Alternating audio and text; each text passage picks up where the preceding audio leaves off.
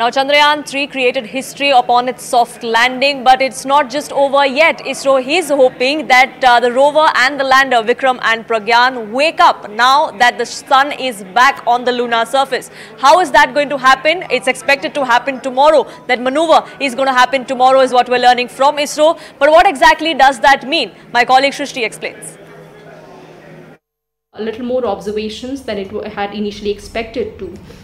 Uh, countries like the US, uh, China, and Russia are going to closely monitor this development because they're planning to set up a lunar base on the moon, and uh, it will definitely add to the scientific prowess of ISRO that its spacecraft could endure the long lunar uh, night although it's, it's, extremely difficult but yes ISRO is uh, testing its uh, capability with, with this exercise.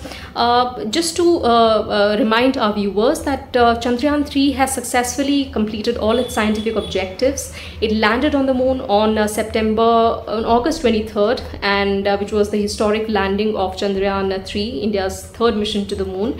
It not only did it measure the seismic activity on the moon, it collected a lot of data about the temperature variations, of the lunar regolith or the lunar soil. It inserted a probe into the lunar soil. Then apart from that, it detected the elements uh, like sulfur apart from major elements like aluminium. And uh, on September 4th, it was put into a sleep mode. But before doing that, ISRO did another uh, little experiment, which was called the HOP experiment, wherein they elevated the spacecraft to a height of about uh, 40 centimeters by firing the engines and then the lander was made to land about 30 to 40 meter uh, centimeters away. Uh, during the entire experiment, uh, ISRO again tested its capabilities. It redeployed the ramp and tested whether the payloads are also working at the new site and they were indeed working.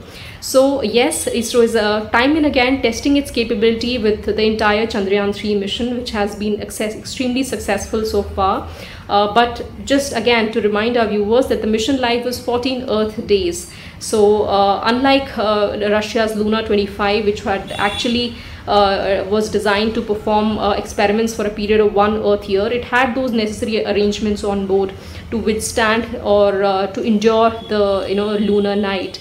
In in case of ISRO, the, those arrangements are not there. But let's see if ISRO can achieve uh, success in this little experiment and uh, revive the lander Vikram and Pragyan rover once again on September 22nd.